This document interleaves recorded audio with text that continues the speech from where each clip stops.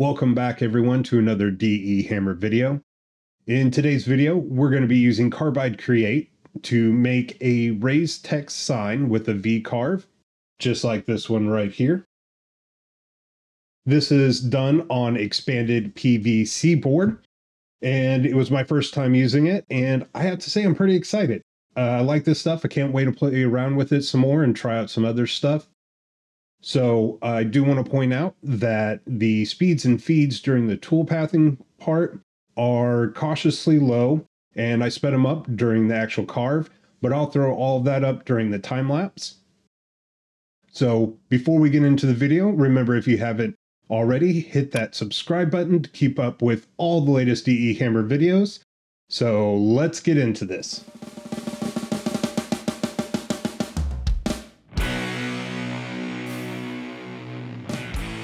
Getting started, we're in Carbide Create. Everything we'll be doing here, you can do in the free version. Uh, I am using Pro, so mine may look a little bit different than yours. We're also on build 623. First off, we're going to want to make sure our stock material is all put in. I'm going to be using expanded PVC board, and those are 12 inches by 12 inches or 304.8 millimeters by 304.8 millimeters. And we're not cutting through, so thickness is not an issue for me, but it is approximately 12 millimeters. And we'll have the retract height set to 3. Now that we have all our setup ready, first thing I want to do here is I'm going to grab rectangle and just start dragging that out. And then we're going to come over to the transform and scale it. I'm just going to scale it about so. And notice I have two grid spaces, top, left, and right hand side. And this is where we're going to put our text inside so we can do erase text. Next, we're going to click here. And we're going to go to boldly go, exclamation point. Now to see that, we hit apply and it changes this for us. And that's about good right there. You can see we have about five, about 10 millimeters there, 10 millimeters there. We can zoom in, get this. There we go. And there we go. So about 10 millimeters on each side. Now we could come in here and mess around with the spacing and everything, but for right now, I'm going to let that be. And we're going to go ahead and convert this to curves. And now, when we click on this, instead of it being a font, it is a vector. And what I like to do here is each word go through, select, and then group them. We can always ungroup these later, but we'll just bundle all that like so. Now Let's go ahead and import our SVG. And it's a little bit big for this board. That's not an issue. We can come over here to scale and then grab a corner and scale it down. That looks about good for good size for this board. We're going to go ahead and hit done. And then we're going to group that together. We're not finished yet. Next, on our uh, COM badge here, I'm going to come to offset vectors.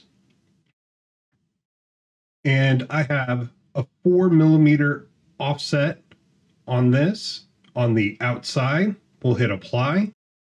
And so that draw drew all the this line around our COM badge. And we'll, I'll show you in a little bit why we're doing that.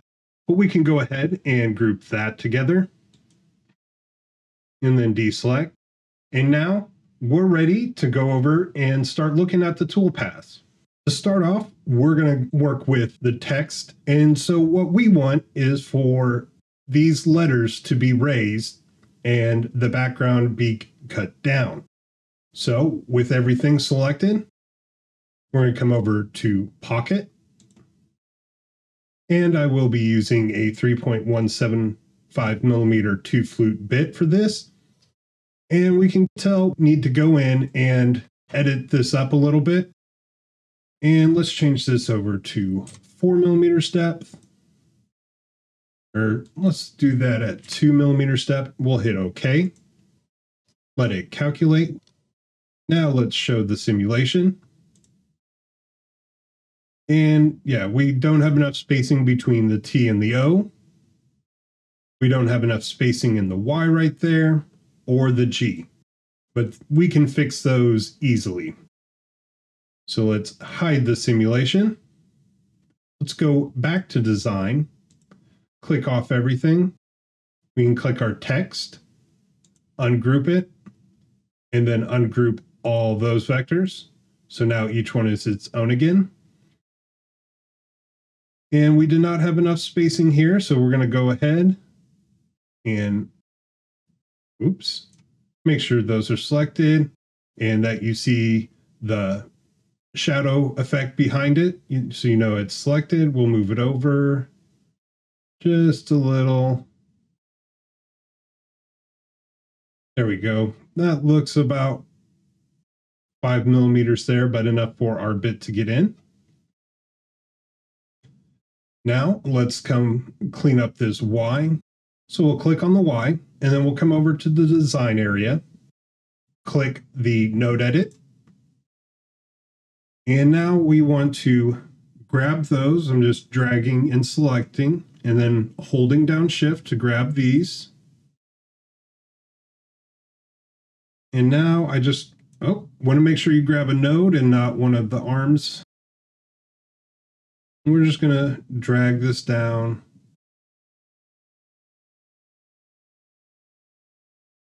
And that should be good. Oh, we didn't get that. Went down too far right there with that, but that's okay. That's because I messed with that arm right there. But we can just go and fix it up right there. And there we go. We can hit done, zoom out, and now we can work on the G. And we're just going to do the same thing here. So we're going to go ahead and select all these and move them over. Then we'll get these and this one and move them down. And we'll just move that up just a little bit. Hit done. Now let's go back to our toolpaths. And as you can see, it's already calculated. It's going in there. A Y is good and clean there. And we look pretty clean everywhere. One thing I do want to do is I want to come back to the pocket here, edit, and depth per pass is good, but for step over, I'm going to change that down to 1. Point, mm, two. There we go. Hit OK. Let it refigure everything. Let's show the simulation. And I like it. Now we can get on to the com badge. As I mentioned earlier, there was a reason I wanted to offset that. So let's go ahead and just select our original import, this inner part right here, and just click on VCarve. It's already set to the 13 millimeter V-bit I'll be using. Max depth, I'm going to set that to 4. And then let's hit OK. Okay, now show the simulation. And not bad, I could live with it. Now, if we select everything in that offset path we did, come back in here, select everything, hit OK. Now let's show the simulation. And personally, I prefer that. I like that look, and I feel that's more what I was going for in this. Only thing is, we got some issues here and here. I would like that to come out a little bit. Again, nothing we can't fix. So let's hide the simulation. Go back to design. With this selected, we'll get everything undone. And actually right here, we'll let's delete all those outsides that we did. We can redo that here in a little bit. And we're just going to bring that out a little bit. There we go. Bring this out a little bit. And bring that down a little bit. Now we'll reselect everything. Offset of 4. Came a little too far out on this one, so we'll Control Z.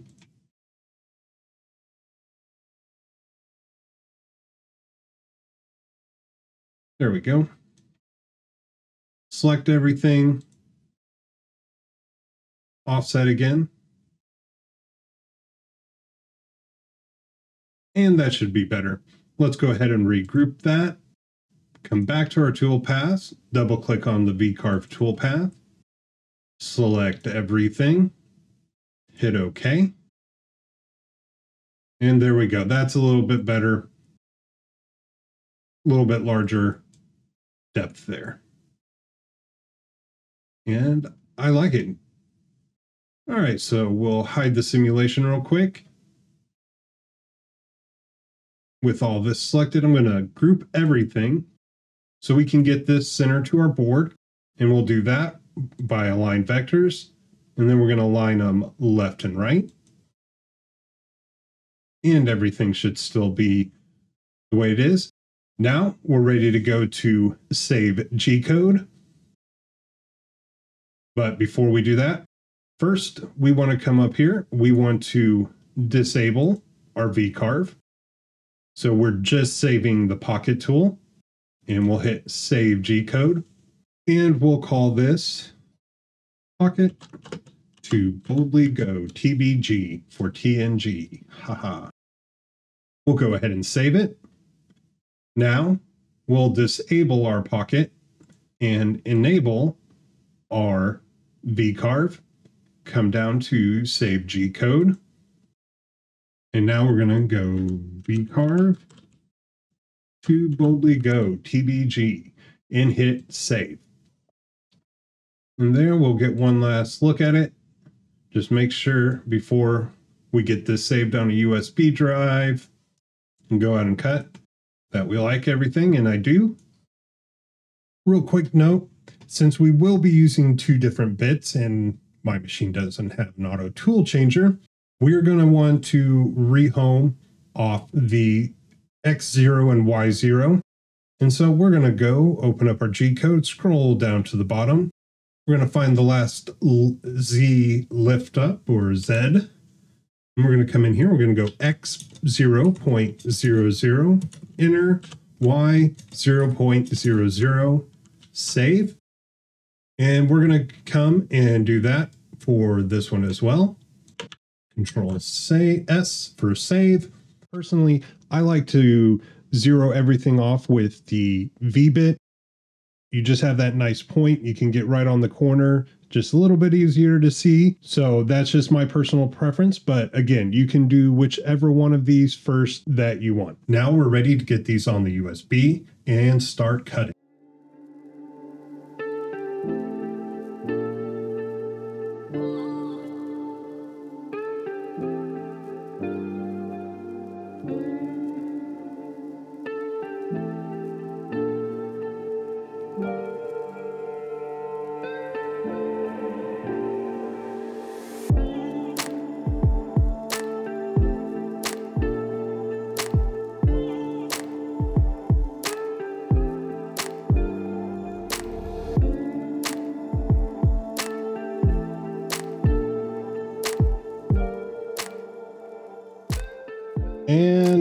Too bad for the first time with uh, expanded PVC. I really like this stuff. Can't wait to play around with it some more. And as I do, I'll share little tips and tricks that I've picked up on it. And I'm pretty sure you could cut this with a uh, 3018 as well. Uh, I'll give that a try and let you know how that goes. Thanks everyone for watching. Remember, if you like this video, hit that thumbs up. And if you haven't already, hit that subscribe and bell button. And until next time, keep making stuff.